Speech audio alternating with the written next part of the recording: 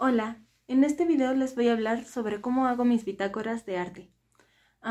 bueno, les voy a ir pasando imágenes acá para darles algunas ideas.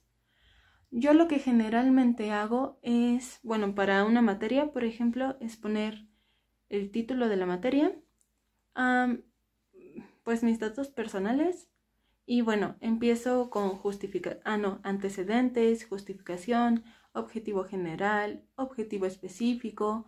Este, hago muchos bocetos, muchos, muchos bocetos para, no solo para aclararme, ajá, para aclararme las ideas, sino para aclararle a quien se lo voy a explicar las ideas y poderle explicar de alguna forma más sencilla, más didáctica. Eh, generalmente voy, bueno, lo que yo he hecho, eh, pues mi obra se relaciona con mi entorno. Entonces, lo que hago es, por ejemplo, si ocupo, no sé, flores, seco las flores y las pego. Es casi casi un tipo scrapbook, porque todo lo que voy encontrando es lo que voy pegando.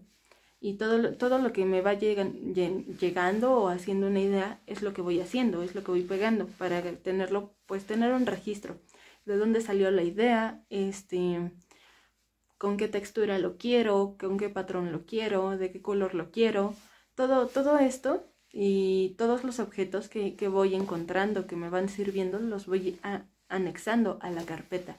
También una cosa que yo hago es utilizar literalmente carpetas, por ejemplo.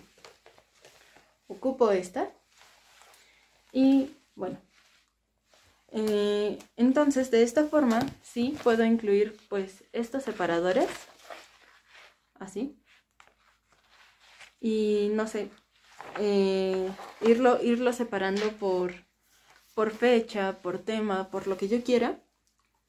Eh, y de esta forma puedo, si se me olvida, no sé, agregar o anexar algo, pues simplemente abro la carpeta eh, en donde quiero anexarlo y pum.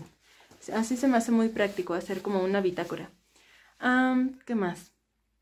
Ah, voy poniendo presupuesto como lo pueden ver acá.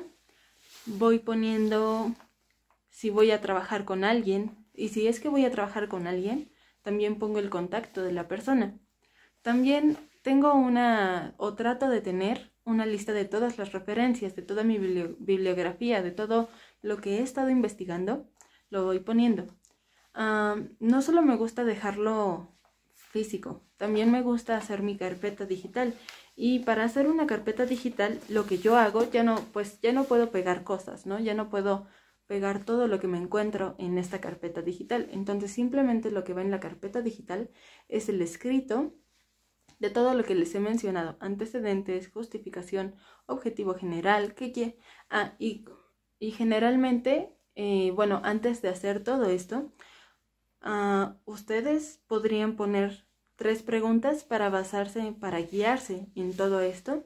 Por ejemplo, el qué es, o sea, qué es lo que quiero hacer, cómo es, cómo es que lo voy a hacer y el para qué, para qué lo voy a hacer, para qué estoy haciendo este proyecto. En base a estas tres preguntas es como yo empiezo a estructurar mi justificación, mis antecedentes, mi objetivo general, mi objetivo específico y bueno, Metas, también me pongo metas a largo plazo, a corto plazo, a mediano plazo. lo que generalmente también hago es hacer un cronograma. ¿Y qué hago en mi cronograma? Bueno, eh, pongo todas las actividades de un lado. De un lado actividades, arriba los meses. Y una vez que tengo así, eh, lo divido como en capsulitas y con una X voy poniendo en cada cuadrito todo lo que pues voy, el tiempo que me voy a tardar. Por ejemplo, no lo sé, hacer bastidores.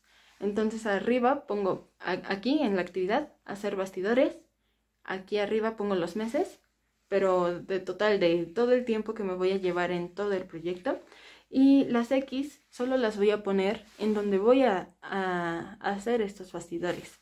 Em, de esta forma tengo como un rango para decir, bueno, ya me estoy atrasando con los bastidores, ya me tengo que apurar, o bueno, ya me adelanté con los bastidores, pues que bueno, voy a seguirle para tener más tiempo libre, ¿no?